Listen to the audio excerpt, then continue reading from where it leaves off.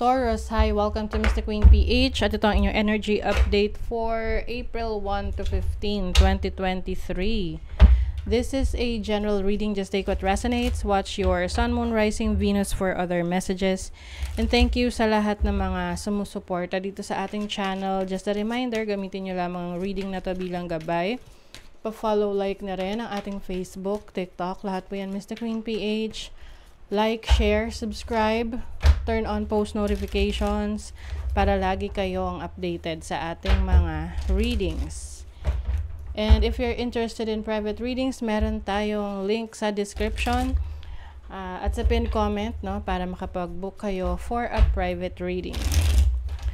So, let's see Taurus. Ano yung energies for you? Updates ngayong April 1 to 15. Titinan natin energies ng inyong money, career, finances love life, tsaka overall energy. Okay. Let's see.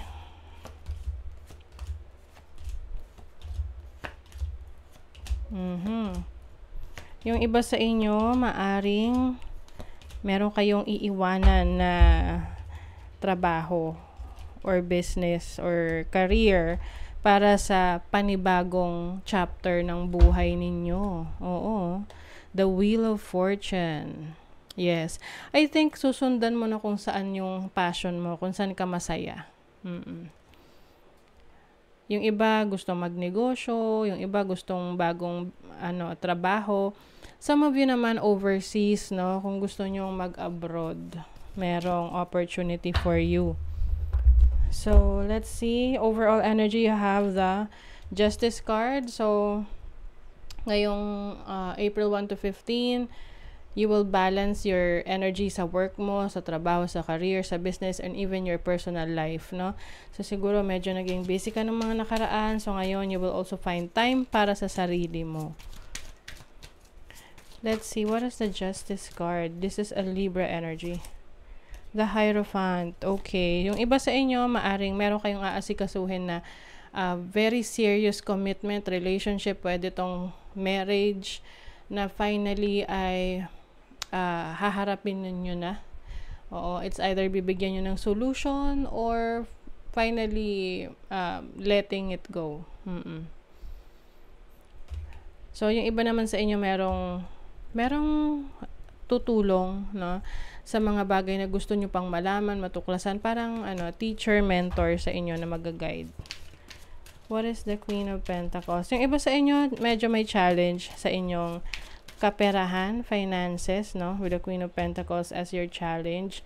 You need a lot of strength.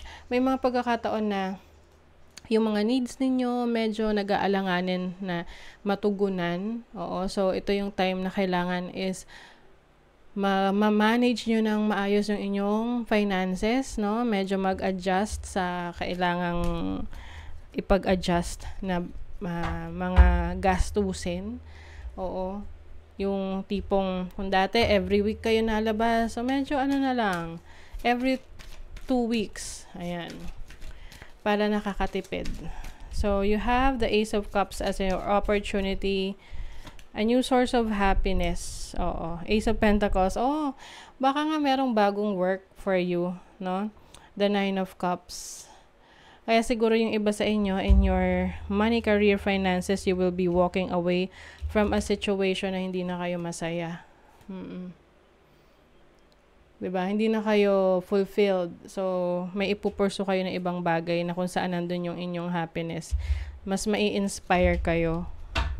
So, as your blessing, there's freedom with the Queen of Wands.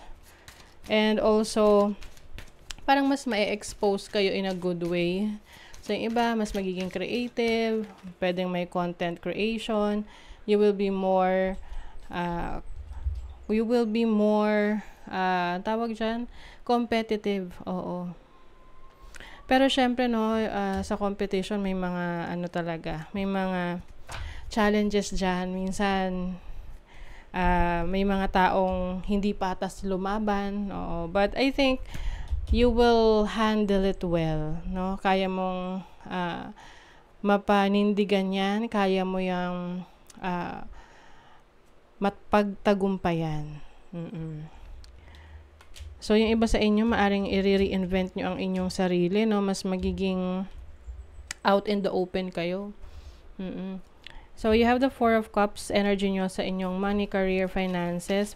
Parang, ayun nga, like what I mentioned kanina, pwedeng nagkaka-challenge kayo sa kaperahan. May mga bagay na hindi nyo ma-fulfill ngayon.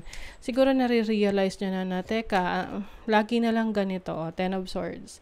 Nasa stress. Merong stress sa kaperahan or sa trabaho to, sa career ninyo.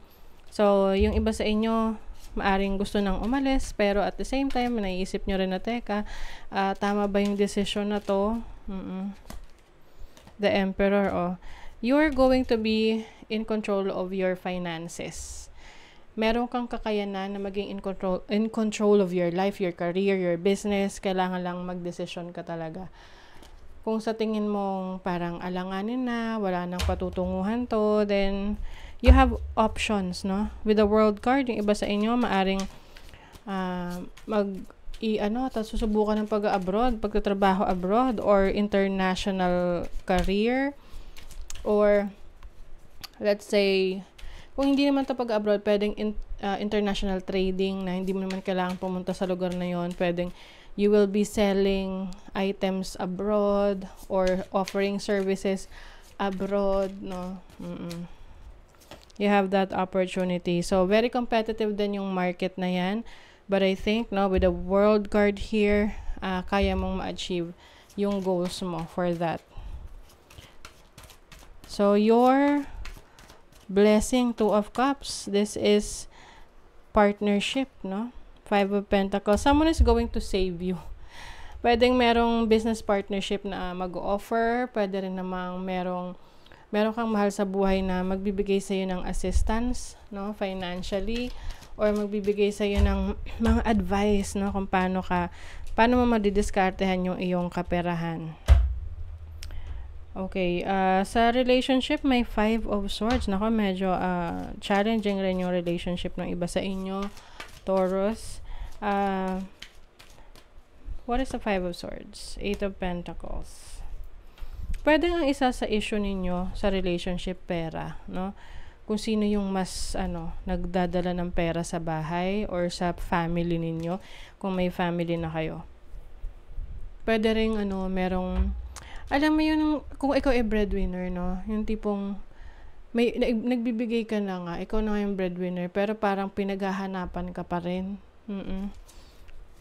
Na, let's say, 10,000 yung ginagastos mo sa mga taong sinusuportahan mo.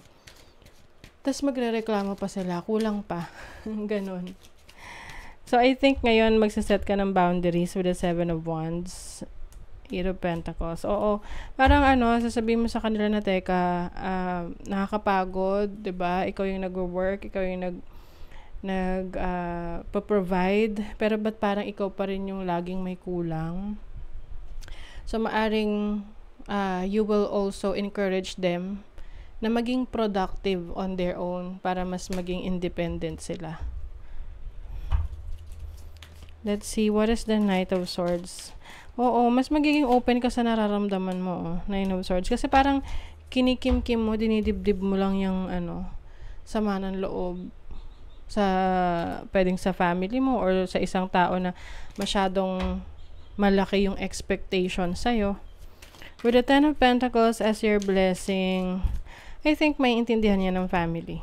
Mm-mm. Six of Pentacles. This is about uh, giving and taking, no? So, kumbaga, ibabalance ninyo uh, pagdating sa needs ng bawat isa.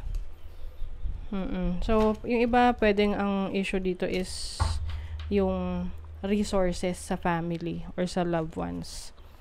Okay, let's see ano pa for Taurus. Uranus change. O, ayun na nga. Major change. Yung iba sa inyo, ang change na to may kinalaman sa career or business ninyo you have the south node which is your past. So, maaring meron kang tatalikuran na, na situation para i-welcome ang bago. Mm-mm. And it's all going to be in the past now. come home to yourself. Ayan. So, you will also focus on yourself.